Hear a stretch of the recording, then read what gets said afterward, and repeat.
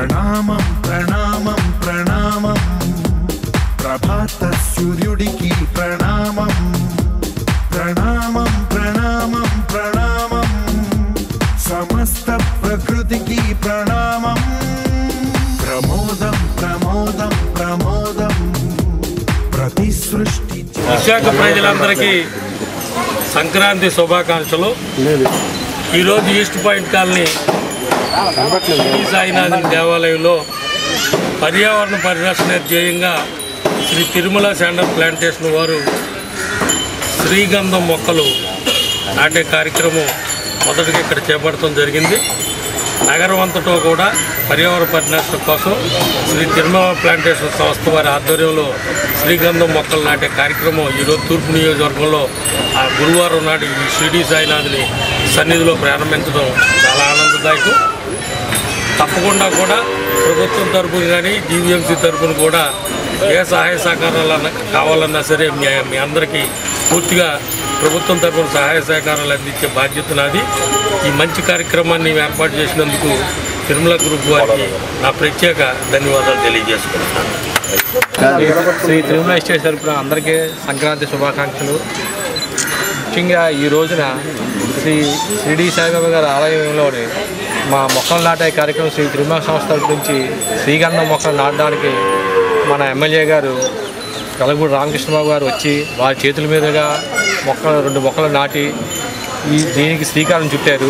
ఇది ఇలా మొత్తం టోటల్ సిటీ అంతా కూడా మేము గంధం మొక్కలు పర్యావరణ పరిరక్షణకై గంధం మొక్కలు నాటుదామని చెప్పి ఈ కార్యక్రమానికి మేము తలంచి దానికి ఎమ్మెల్యే గారిని అడగగా వారు ఎంతో సహృదయంతో వచ్చి దీనికి కావాల్సిన సహకారాలు ఏం కావాలని చేస్తా అని చెప్పి చెప్పారు.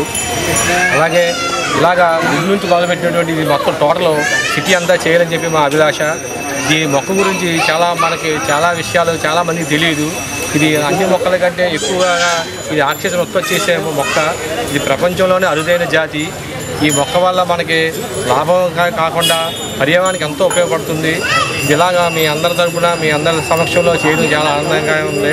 ఈ తిరుమల ఎస్టేట్ తరపున అందరికీ మరొకసారి సంక్రాంతి శుభాకాంక్షలు. ముందుగా సంక్రాంతి శుభాకాంక్షలు అందరికీ కస్టమర్ దేవుడికి మెయిన్ ఇది మేము ఈ project Shri Tirumala sandal plantation అనేది మెయిన్ ముఖ్య ఉద్దేశం పర్యావరణం కాపాడడం కోసం ప్రతి ఇంట్లో ఒక మొక్క వేసుకుని ఎవరికి మట్టికి వాళ్ళు ఎంతో కొంత ప్రతి వాళ్ళని పర్యావరణం కోసం పాటుపడాలి. అందరూ దీన్ని అందులో నా భాగంగా నేను ఇది చాలా రీజనబుల్ రేట్లకి అంటే ఈ మొక్కను మూడు నెలలు పెంచి పెంచి పెద్ద చేయటానికే మా మా కృషి. దీని మీద ఆదాయం ఎవరికీ అర్థం కావట్లేదు. దీని ఆదాయం పదిహేను సంవత్సరాల్లో మినిమం రెండు నుంచి ఐదు లక్షల దాకా రావడానికి అవకాశం ఉంది. నలభై యాభై ఏళ్ళు ఉంటే కోట్ల మీద వస్తుంది. ఇటువంటి మొక్కని ఎవరూ గుర్తించటం లేదు. దీన్ని రెండు మూడు సంవత్సరాల నుంచి పరిశోధించి పరిశీలించి మద్రాస్ మైసూరు అండ్ బెంగళూరు వేరే చోట్లకు వెళ్ళి దీని గురించి అన్ని తెలుసుకున్నాం. త్వరలోనే ఫేమస్ అటువంటి అనంత పద్మనాభం గారు చెప్పిన ప్రకారంగా మేము దీనికి సంరక్షణ. మా కంపెనీ తరఫున వారు కూడా వచ్చి మొన్న గ్రీన్ పార్క్లో ఓపెనింగ్ చేసిన దీని గురించి వారు వచ్చి మా తోటలో మాకు నూట నలభై మూడు ఎకరాల్లో శ్రీగంధం చేసిన తోట వేశాము. అది చూసి ఎంతో ఇక్కడ వాతావరణం చాలా బాగుందన్నారు. బెంగళూరు కంటే మందే చాలా బాగుందన్నారు.